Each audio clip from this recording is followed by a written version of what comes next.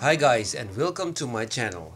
This video will show if the Lenovo Legion 5 laptop which I bought for video editing work is suitable or not.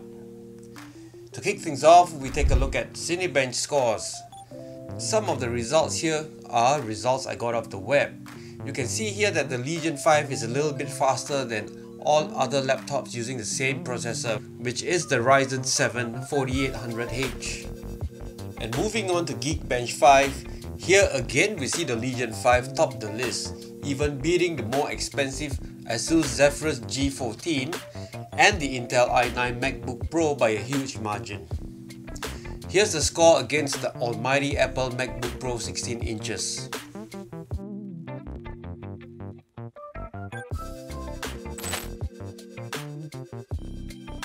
Next up, we look at the included NVMe SSD.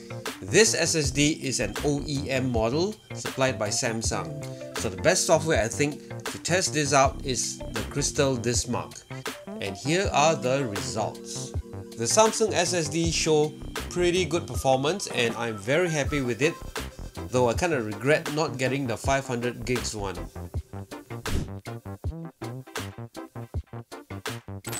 So the specs say that the screen is 100% sRGB, which is also the equivalent of the broadcast spec Rec 709.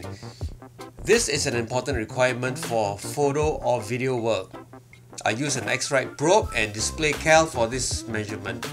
Okay, so the results show that it is actually 94% sRGB coverage and 102% uh, volume, 96% Adobe RGB coverage, 71% volume, and 73% DCI-P3 and 73% DCI-P3 volume. Well, I think this is good enough for video and uh, image processing work. However, it will not be good enough for critical high-end color grading work uh, with a software like DaVinci Resolve. Moving along to Adobe Premiere Pro, here are the results I got from the Puget Systems benchmark. The Legion 5 is 484 points and we compare that to the Asus TUF which is uh, lower probably due to the overheating issues as reported by some folks. And comparing the next one, which is the uh, desktop version of this processor, it is no surprise that it scores about 15% higher than the 4800H. Next up, we compare it to the Intel i9 9900KF, which is a 95 watt desktop chip, known as the fastest gaming processor, so it is no surprise that it is faster than the Legion 5, but not by a whole lot. And finally, we see the Legion 5 crushing the HP Spectre X360 with the Intel i7 9750H. And finally, I'm putting up benchmark results for the DaVinci Resolve. Although this benchmark don't support a GPU with 4 gigs of VRAM, the 4K benchmark does run to the end, but as you can see, the triple noise reduction test failed and shows a 0 score.